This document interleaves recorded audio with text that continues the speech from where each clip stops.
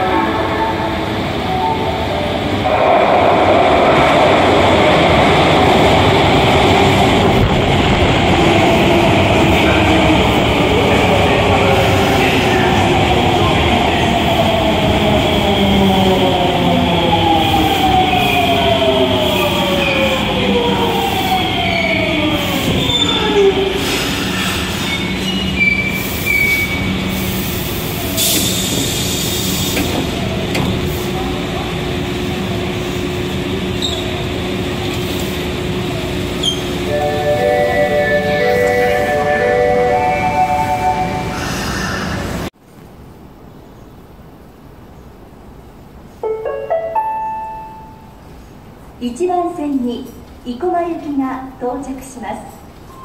危険ですので黄色い点字ブロックの後ろまでお下がりください。